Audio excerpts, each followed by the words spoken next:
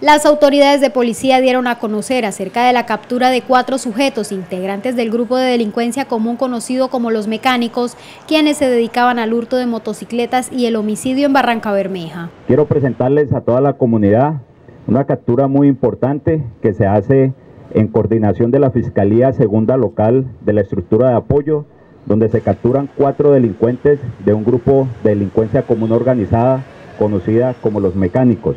Estas capturas se hacen por los delitos de concierto para delinquir con fines de hurto calificado, agravado y receptación.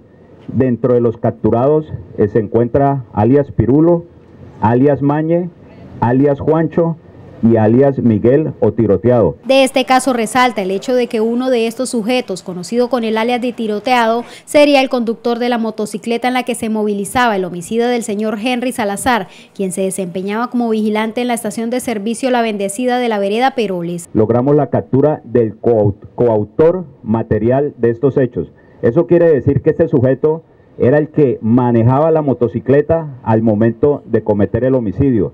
¿Y cómo lo hace? Momentos antes, esta persona, este alias Miguel o tiroteado, llega a la estación de servicio y hace todas las actividades de verificación o de inteligencia y efectivamente va nuevamente donde están los delincuentes y se regresa y es donde nos comete ese hecho lamentable. Ya está capturado y vamos por el resto de los cinco delincuentes que todos apreciamos en los videos y no descansaremos hasta lograr la captura de todos esos delincuentes. Según las autoridades, los hoy capturados presentan anotaciones judiciales por varios delitos. Estas personas tenían anotaciones judiciales por los delitos de hurto agravado, por los delitos de concierto para delinquir, por los delitos de homicidio, por los delitos de fuga de presos, por los delitos de acceso carnal abusivo con menor de 14 años y por los delitos de tráfico, fabricación y porte ilegal de armas.